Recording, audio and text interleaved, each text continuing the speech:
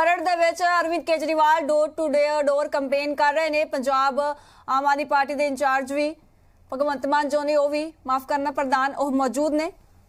ਤੇ ਖਰੜ ਤੋਂ ਆਮ ਆਦਮੀ ਪਾਰਟੀ ਉਮੀਦਵਾਰ ਮਨਮੋਲ ਗਗਨ ਮਾਨ ਦੇ ਹੱਕ ਦੇ ਵਿੱਚ ਕੇਜਰੀਵਾਲ ਪ੍ਰਚਾਰ ਕਰ ਰਹੇ ਨੇ। ਡੋਰ ਟੂ ਡੋਰ ਕੈਂਪੇਨਿੰਗ ਕੀਤੀ ਜਾ ਰਹੀ ਹੈ।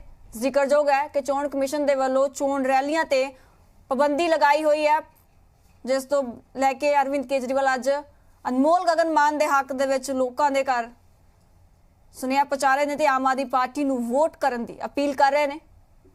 ਤਸਵੀਰਾਂ ਖਰੜ ਦੀਆਂ ਨੇ ਜਿੱਥੇ ਕਿ ਦਿੱਲੀ ਸੀਐਮ ਅਰਵਿੰਦ ਕੇਜਰੀਵਾਲ ਪਹੁੰਚੇ ਹੋਏ ਨੇ ਤੇ ਲੋਕਾਂ ਨੂੰ ਆਮ ਆਦਮੀ ਪਾਰਟੀ ਨੂੰ ਵੋਟ ਕਰਨ ਦੀ ਅਪੀਲ ਕਰ ਰਹੇ ਨੇ। ਤੇ ਅੱਗੇ ਮੇਰਾ ਮਕਾਨ ਆ ਮੈਨੂੰ ਕਹਿ- ਮੈਂ ਲਾਲ ਡੋਰੇ ਦੇ ਅੰਦਰ ਆ ਗਿਆ ਤੂੰ ਲਾਲ ਡੋਰੇ ਦੇ ਅੰਦਰ ਤੇਰੇ ਨਾਮ ਹੀ ਨਹੀਂ ਹੈ। ਤੈਨੂੰ ਨਹੀਂ ਆ ਜਿਹੜੇ ਤੈਨੂੰ ਪੈਸੇ ਨਹੀਂ ਜਿਹੜੇ ਹੁਣ ਚੰਨੀ ਸਾਹਿਬ ਕਹਿੰਦੇ ਸੀ ਲਾਲ ਡੋਰੇ ਵਾਲੇ ਸੀ ਦੇਤੇ ਕੁਝ ਨਹੀਂ ਬਣਿਆ। ਜੋ ਲਾਲ ਲਕੀਰ ਕੇ ਅੰਦਰ ਆਤੇ। ਤਾਂ ਦਿੱਲੀ ਸੀਐਮ ਅਰਵਿੰਦ ਕੇਜਰੀਵਾਲ ਖਰੜ ਦੇ ਵਿੱਚ ਨੇ ਜਿੱਥੇ ਕਿ ਉਹ ਡੋਰ ਟੂ ਡੋਰ ਕੈਂਪੇਨ ਕਰ ਰਹੇ ਨੇ। ਆਮ ਆਦਮੀ ਪਾਰਟੀ ਦੇ ਉਮੀਦਵਾਰ ਖਰੜ ਤੋਂ ਉਮੀਦਵਾਰ ਅਨਮੋਲ ਗਗਨ ਮਾਨ ਦੇ ਹੱਕ ਦੇ ਵਿੱਚ ਉਹਨਾਂ ਦੀ ਇਹ ਕੈਂਪੇਨਿੰਗ ਚੱਲ ਰਹੀ ਹੈ ਜਿੱਥੇ ਉਹ ਲੋਕਾਂ ਨੂੰ ਆਮ ਆਦਮੀ ਪਾਰਟੀ ਨੂੰ ਵੋਟ ਪਾਉਣ ਦੀ ਅਪੀਲ ਕਰ ਰਹੇ ਨੇ। ਅੱਜ ਉਹਨਾਂ ਵੱਲੋਂ ਪ੍ਰੈਸ ਕਾਨਫਰੰਸ ਵੀ ਕੀਤੀ ਗਈ।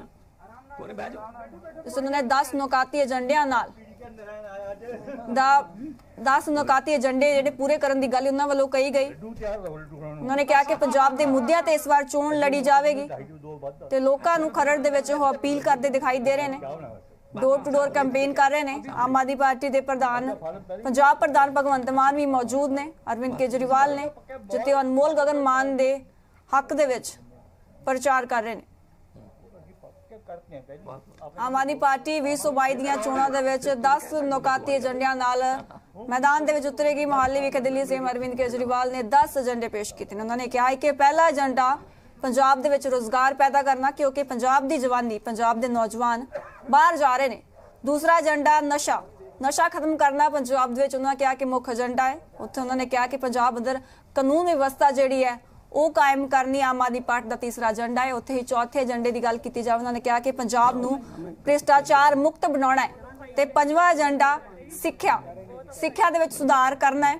ਅਰਵਿੰਦ ਕੇਜਰੀਵਾਲ ਨੇ ਕਿਹਾ ਕਿ ਛੇਵਾਂ ਏਜੰਡਾ ਪੰਜਾਬ ਦੇ ਲੋਕਾਂ ਨੂੰ ਚੰਗੀਆਂ ਸਿਹਤ ਸੁਵਿਧਾਵਾਂ ਦੇਣੀਆਂ ਤੇ ਸੱਤਵਾਂ ਏਜੰਡਾ ਮੁਫਤ ਤੇ 24 ਘੰਟੇ ਬਿਜਲੀ। ਉਹਨਾਂ ਨੇ ਕਿਹਾ ਕਿ ਪੰਜਾਬ ਜਿਹੜਾ ਹੈ ਬਿਜਲੀ ਪੈਦਾ ਕਰਦਾ ਹੈ, ਫਿਰ ਵੀ ਪੰਜਾਬ ਵਾਸੀਆਂ ਨੂੰ ਮਹਿੰਗੀ ਬਿਜਲੀ ਮਿਲਦੀ ਹੈ।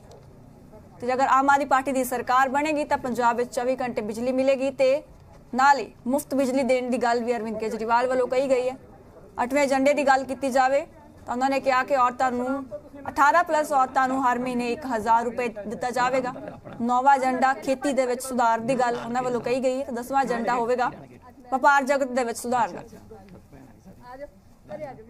ਤਾਂ 10 ਏਜੰਡੇ ਕੇਜਰੀਵਾਲ ਨੇ ਅੱਜ ਮੁਹਾਲੀ ਵਿਖੇ ਪ੍ਰੈਸ ਕਾਨਫਰੰਸ ਦੇ ਵਿੱਚ ਪੇਸ਼ ਕੀਤੇ ਨੇ, ਜਿਸ ਦੇ ਆਧਾਰ ਤੇ ਉਹ ਲੋਕਾਂ ਤੋਂ ਵੋਟ ਮੰਗ ਰਹੇ ਨੇ। ਡੋਰ ਟੂ ਡੋਰ ਕੈਂਪੇਨਿੰਗ ਕੀਤੀ ਜਾ ਰਹੀ ਹੈ। ਖਰੜ ਦੇ ਵਿੱਚ ਉਹ ਪਹੁੰਚੇ ਹੋਏ ਨੇ। ਚਲ। ਚੰਗਾ ਭੈਣੇ।